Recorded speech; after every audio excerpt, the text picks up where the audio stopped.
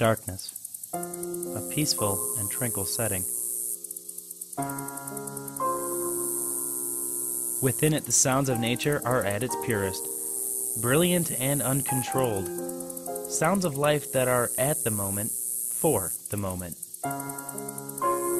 As the dark starlit sky begins to alter to colors of warmth, the sounds of night fade into the distance, as if to chase the night sky.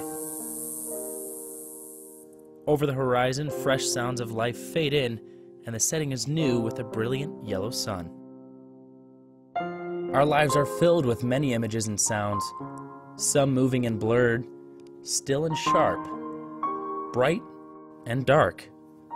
Our senses deceive us on how complex these sounds and images are. They distract our attention from simple moments. If we take a single moment and look deeper than what's present on the surface, there is always a new discovery to be made. Maybe an invisible breeze that makes the leaves shimmer. The rhythmic ripple of water the sun's light shining through gaps between leaves. The song of morning birds. The transition of colors of the evening sky.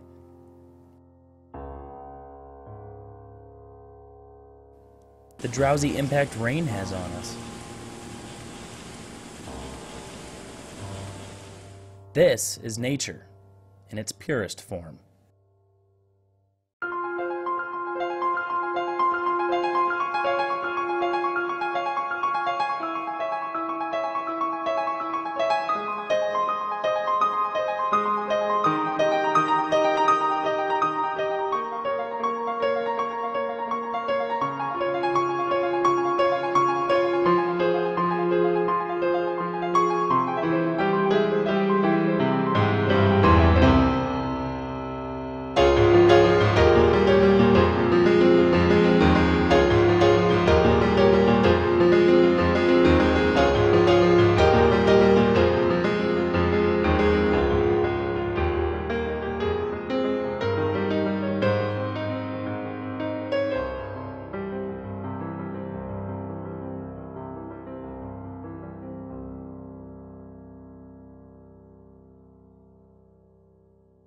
With the hustle and bustle of our daily lives, we tend to forget the gentle and brilliant natural landscape.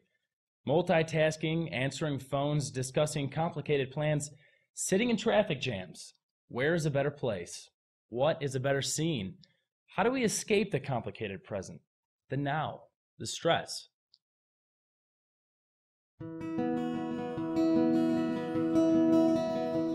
Maybe the answer is nature. But what is nature? Is it the bumper to bumper traffic? One look at a parking lot in Yellowstone and you might think you're at a theme park. Or is nature the place so far removed from our lives that we've forgotten its wonders?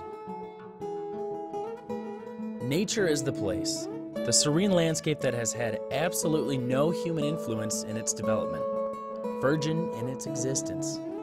The question is is there such a place on Earth? The first place we look to are national and state parks. But haven't they been influenced by humans? If these aren't the answers, why? Where do we look? On the dwindling frontier of forests, plains, and waterways lies a neighbor of 6.5 billion people.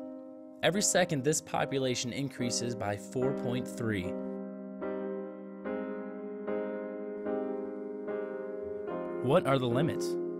Where are these people going to live? How will the earth sustain that number of people? Who will suffer and who will benefit? Most importantly, what will happen to the natural environment by 2042?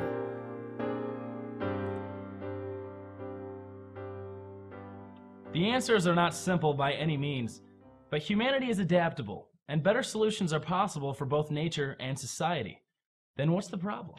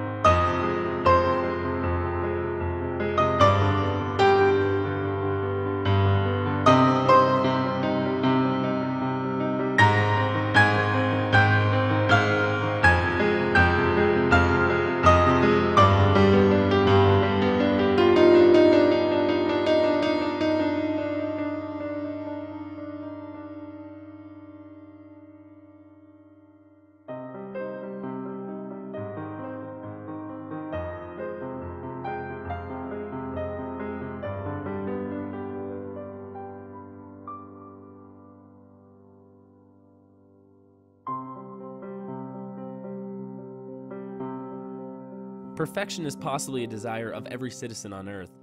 Is there actual perfection in the solutions we decide on in our daily lives or as a global citizen? Perhaps. Perhaps not. No matter what we decide, there will always be drawbacks on society and the environment. The idea is to progress for future's sake. Progress is responsible for where we are today. If it weren't for the wonders of technology, you wouldn't be seeing images or hearing sounds of nature as you sit in front of the screen.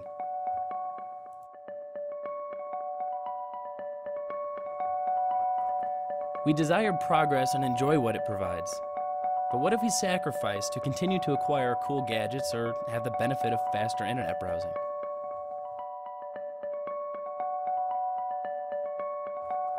Each time we make progress, we must adjust to it. But what happens to those objects we had to replace for advancement?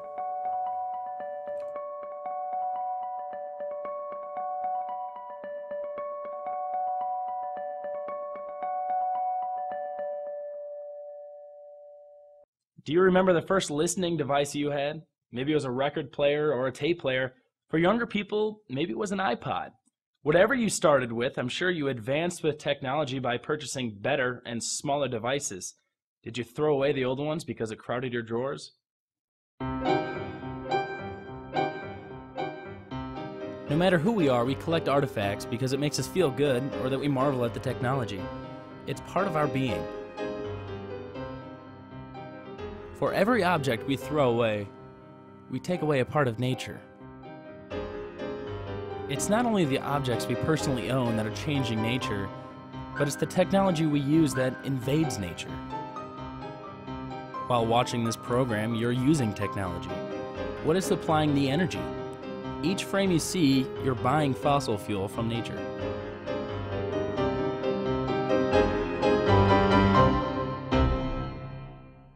Within a 48 hour period, more than 30 cars of coal travel through a city to supply the demand of electricity. That shipment was chiseled out of the earth. When a coal mine is exhausted, it's gone, and more land is acquired to supply the demand removing trees and vegetation, relocating topsoil, modifying the earth in most cases for personal reasons. Are we the number one invasive species? Every acre we expand beyond the current limits, we change the world we know forever. It's a small point of no return in the grand scheme.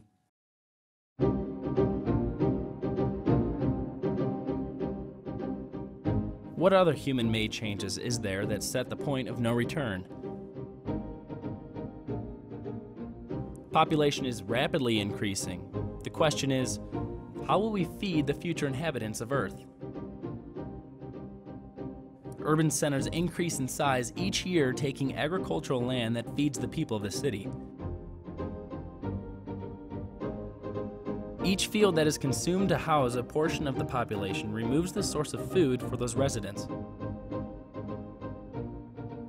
To compound problems, the expansion of cities creates a looming disaster floods. If rain falls for extended periods of time and at high rates, flooding occurs due to compaction of soil from expansion and the removal of vegetation that would otherwise reduce the rate. When the rains stop, how will we deal with the lack of water? Dividing the water for both consumers and producers is a continuing debate where water resources are diminishing. Who decides where the hot commodity goes?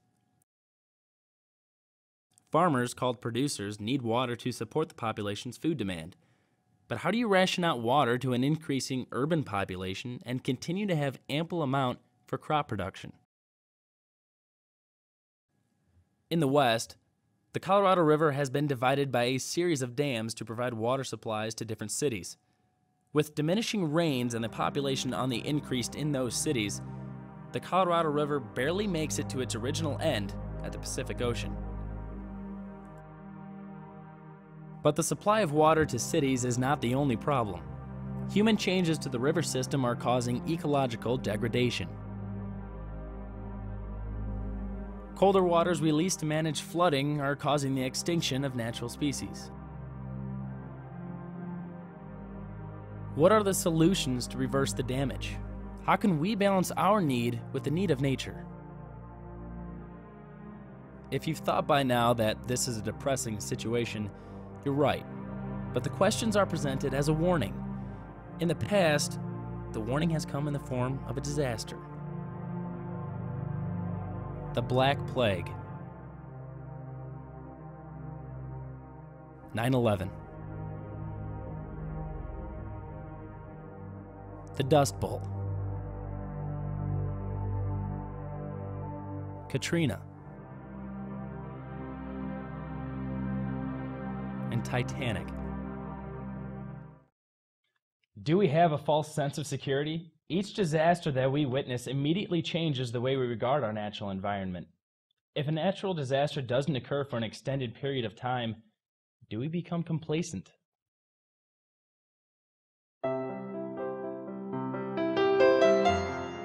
The Titanic disaster is an example of how we regard ourselves with nature. Superior. Prior to the demise of Titanic, the ship was labeled unsinkable. During that period in history, the Edwardian era, humans believed that nature could be controlled to benefit society. Today, some believe that by dropping a bomb into a hurricane to blow it apart before it does harm to cities is a viable answer. But think about it. Heat is the primary ingredient for hurricane formation. Is it possible to control nature for our benefit? Do we continue to work to find ways to prevent disaster through technology? Or do we come to grips with nature and find possible solutions that allow a better coexistence? Expedition Nature's Realm is the exploration of questions and answers to determine our place with nature. It's the expedition of the individual's place in a fragile world. Will we continue to change our ways just when disasters occur, only to become complacent in time? Is this determined by generations? Do we act this way just because we didn't witness a disaster? How do we continue to regard the warnings left by those before us? Will we move in inches or move in miles to change the current routine? Will we find ways to diminish the warnings from nature? Are we going to continue down this path only to utter those fatal words, it was too late? Maybe you're asking, how significant would my contribution be to a global problem? Although we are minuscule creatures in a vast world, we have contributed greatly to harming the environment one person can't change the world, but it's the attitude that changes the way we think about our existence with nature. No matter how much we actually know it, we are extremely influential in the daily lives of friends and family. Our attitude toward the environment leaves an imprint on the attitude of others. In the past, communication was difficult and slow. Word of events took time to reach other parts of the world, Today, technology has allowed globalization, where news and discoveries are almost instantaneous. Every day, there are environmental disasters occurring throughout our planet, some small and others large. The evidence is there in the content of many forms of communication. If an environmental situation arises in distant lands, do we take notice? Or do we say, that won't happen here? But is it not true that that is possible? To say that particular situations are not possible is more of a problem than we might think. If one believes that it's not possible, then 10 others think the same way. Is this what our predecessors were trying to tell us? The signs of warning are around us. We see pictures, read and watch the news, hear through word of mouth the harm we have on the environment. If a balance between humanity and nature is not determined soon, what will the future state of the environment be? Equally important, what will the state of humanity be? Most of us have been to a natural setting, whether it was a park or preserve, but why do we go to these places? What do you hope to gain from a trip to nature? Some go for the splendor of nature to watch animals. Some go to witness the natural beauty of the colors and sounds.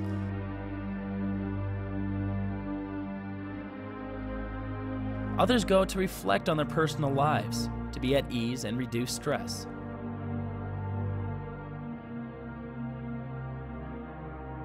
If we lose what we have in nature, what will be the result? Are we ready to accept the repercussions of our actions? Why do we wait? Persuasive, maybe. Negative, definitely.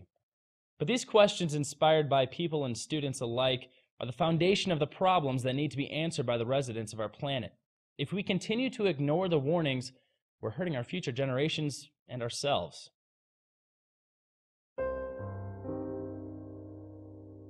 Decide for yourself what needs to be done, but also decide for the little one who will, one day, make decisions for many.